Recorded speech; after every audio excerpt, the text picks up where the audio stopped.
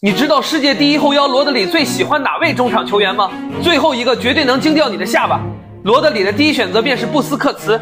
尽管外界一直把罗德里视作布斯克茨的接班人，但他本人并不认同。布教授的第一脚出球太出色了，更恐怖的是他的大脑速度，即便被两三个人包夹，都能做出正确的传球。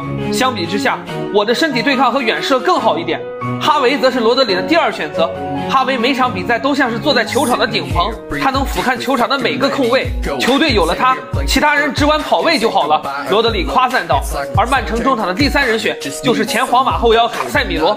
巴西人用他跑不死的体能和凶悍的拦截，为当年的皇马中场竖起了一道屏障。所有球员都希望拥有像他一样的铁肺。罗德里解释说。而第四人选，罗德里再次给到了自己的西班牙老乡伊涅斯塔。要论技术和盘带，小白在狭小空间里的处理球能力堪称世界一流。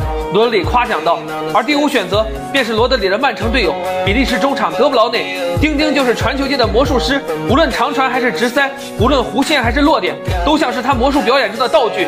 罗德里的第六选择则是杰拉德，身为利物浦的传奇队长，杰拉德永不言弃的战斗精神和领袖气质，总能给球队注入信心。罗德里解释道，最后一个位置。